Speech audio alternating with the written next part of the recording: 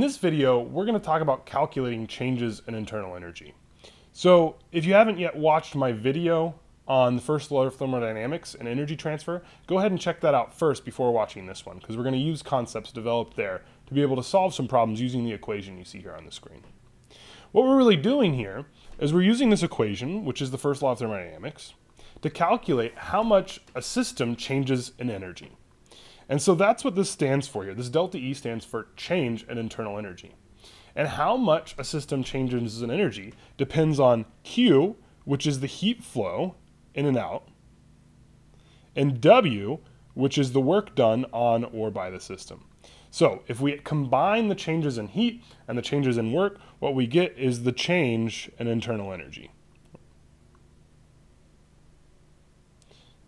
So here is a table that shows you the signs that Q or W will have depending on what types of processes are going on. And we'll go through these examples real fast and then we'll do a few problems. So if work is done on a system, and the system is just whatever we're interested in, if work is done on a system, that's said to have a positive change. So for example, if I lift up a weight, I'm doing work and I'm increasing the energy of that weight, namely the gravitational potential energy. So if I lift up a weight, that's doing work on a system, and that's increasing its energy. On the other hand, if I work is done by a system, that decreases its energy. So an example here would be dropping a weight. I can drop that weight, and that is work done by the system. That weight is going to drop, and it's going to reduce the energy of that weight, and it's going to transfer that energy to the floor, which is basically the surroundings. Now, you can also have energy transfers by heat, which we abbreviate as Q. And if you put heat into the system, we call that a positive change in internal energy because you're increasing how much energy that system has. So an example there would be heating a balloon. If I add heat to a balloon, I'm increasing the energy that balloon has. On the other hand, you could have heat flow from a system. And an example there would be wood burning. If I burn wood, the energy contained there in that system, which is wood, is decreasing. And so we call that a negative change. So we're going to take a look at a few problems here that'll use this equation to calculate change in internal energy. And the main challenge for these problems is identifying is Q positive or negative and is W positive or negative. So here we have the first problem. It says a basketball is pumped up while sitting in the sun. And 325 joules of work is done pumping up the ball, and 12 joules of heat is absorbed by the ball, and we want to know the change in internal energy. So I've broken down this problem into three steps. And the very first steps we're going to do is just identify the heat and work magnitude. And by magnitude, I mean how big they are, but not yet their sign. So we're going to identify the numbers associated with heat and work, but we're not going to identify if they're positive or negative. And so what we're going to do is we're going to look for Q in our problem, and we're going to look for W in our problem. We're going to figure out what those are. And you can see here that the first thing listed is that there's 325 joules of work. And so we're not going to worry about the sign yet. We're just going to say, oh, there's 325 joules of work done by or on the system, and we're not going to worry about the sign yet. So I'm going to write down 325 joules. And I'm going to leave a space here where I'm going to go back and fill in the sign. And now we want to identify the heat change. And you can see it says that 12 joules of heat is absorbed by the ball. So that's 12 joules there. So our Q is equal to 12 joules. So that's step one, where we've just identified the magnitude of our heat and work. Now, the next step, and the hardest step, is determine the signs of our heat and work. So now we have to decide, did each of these processes increase the internal energy of our ball or decrease it? Well, we pumped that ball up. We're doing work on the ball. And indeed, it says 325 joules of work is done pumping up the ball. So we're working on the system. And since we're working on the system, if we go over to our chart here, whenever we do work on the system, that has a positive change.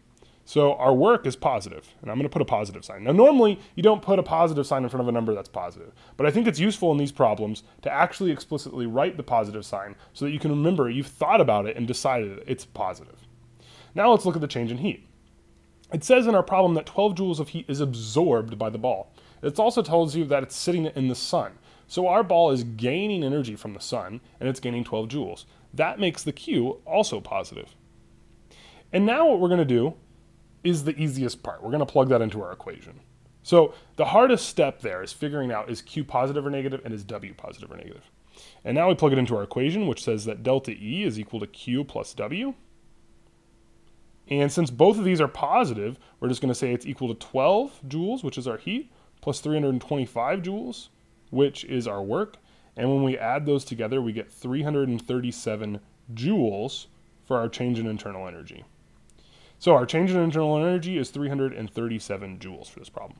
We're going to do two more problems, and this one was stated with a basketball being pumped up, and it clearly tells you information about what's going on with that system in a very concrete way. It's a ball. But lots of times, the way textbooks award problems is more like this. They'll just say 118 joules of work is done by a system while it gains 316 joules of heat. What is the change in internal energy? So there we don't have any clues about the ball being pumped up or the sun, and we just have to go based off of the words that list in the problem to understand whether our heat and work are positive or negative. So again, we're going to follow this list of steps. First, we're going to identify the magnitude of heat and work. And so we're going to look for Q and we're going to look for W. And you can see our problem says that there's 118 joules of work. So we know the magnitude of our work is 118 joules. So I'm just going to write 118 joules, again leaving a space to fill in that sign later. It also tells us that there's 316 joules of heat. So I'm just going to put 316 joules here. Now, step two, and the hardest step, determine the signs of heat and work.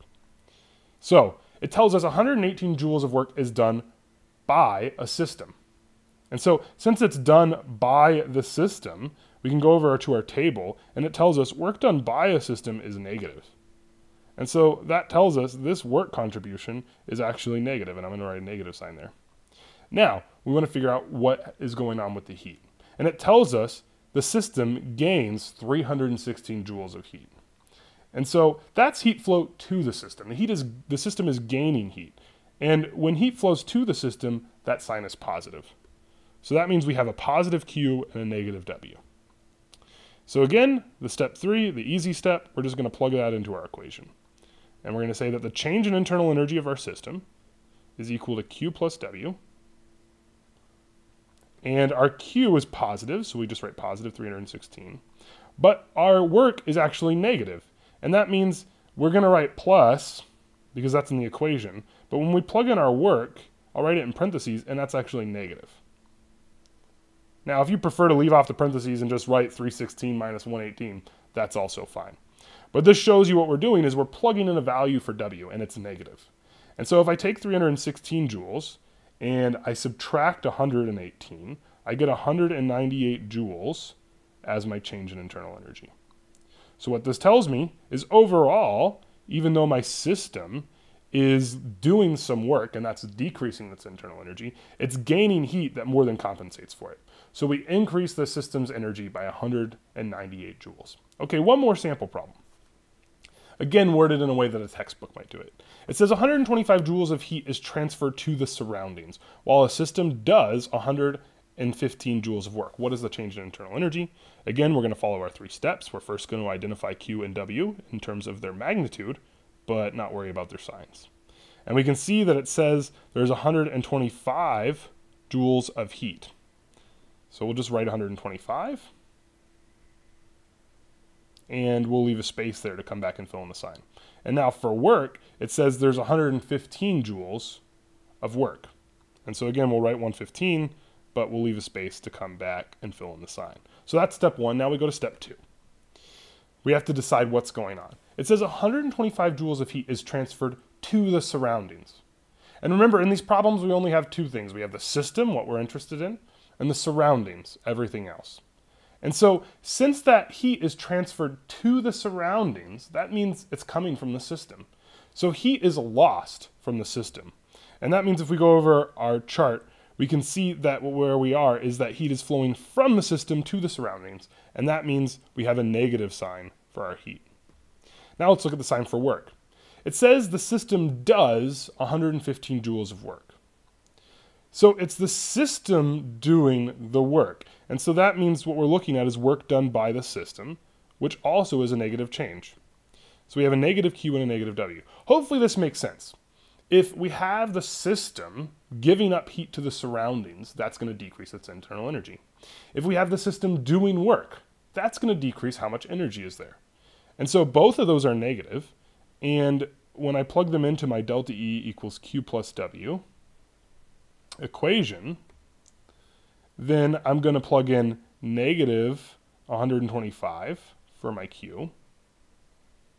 And I'm going to plug in negative 115 for my work. And when I go ahead and add those two negative numbers up, I'm going to get negative 240 joules for my change in internal energy. That's a negative number. What does that mean? That means that the total energy in my system has decreased in this problem.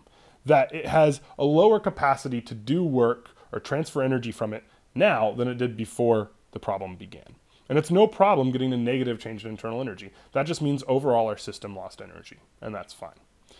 So, thanks for watching this episode of Real Chemistry. If you have any questions about determining these uh, signs on Q and W, please leave them below. You can also subscribe to receive updates about future videos.